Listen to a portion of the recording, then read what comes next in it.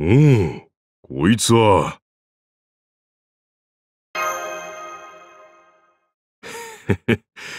そういや聞いたことがある気もするな。あれだろ？祭りみたいなもんだろ？いや、ありがとうさん。お前さんぐらいの年の若者にプレゼントをもらう。なんてことは、そうそうあるもんじゃないからな。新鮮すぎて少しびっくりしちまったよ。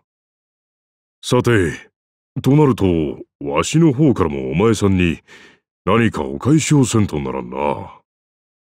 しかし困ったぞ。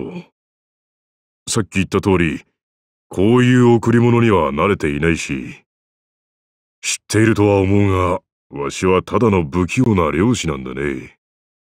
向き合い方を知っているのは、山の自然や動物たちに対してだけさ。何をお返しにすれば、お前さんのような若者が喜ぶのか、とんと見当がつかん。いっそのこと直接聞いちまおうかとも思うが。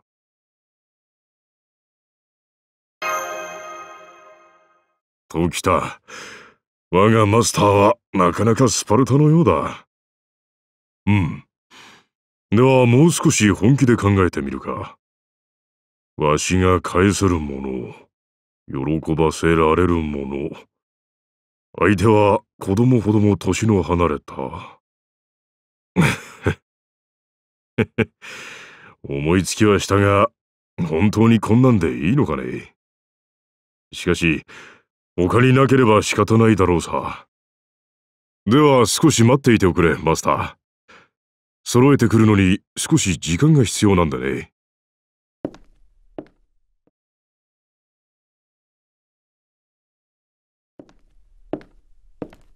うん。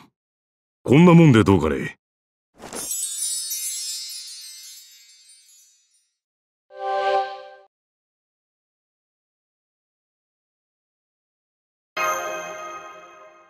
初心者向けに扱いやすさを優先して選んだ。必需品ばかりだが、高級品ではないから安心して受け取ってほしいね。いやな、結局のところ、わしはわしにもわかる人間関係の記憶に頼るしかなかったんだ。お前さんは、わしにとっちゃ、親子ほども年の離れた若者だ。まあ、この頭にパッと浮かぶ自分のこの年齢よりは少し上だがね。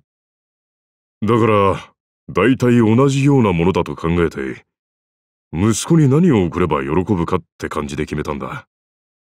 昔、まだ小さい頃、わしの息子は断るごとに狩りに連れて行ってほしいとねだってきてな。まだ早いと退けては泣かせていたものだが、数年後に初めて山に連れて行った時は、それはもう嬉しそうで、うん。まあ、だからだよ。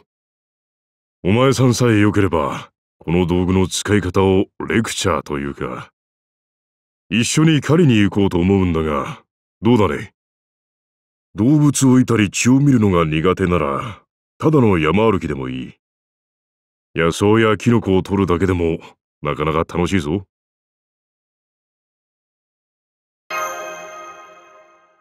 そいつは嬉しい。ああ、やっぱり思い出しちまうな。あいつを山に連れて行った時のことをさ。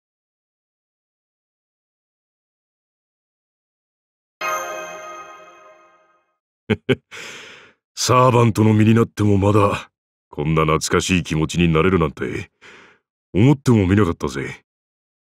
バレンタイン様々だな。祭りはやはりいいもんだよ。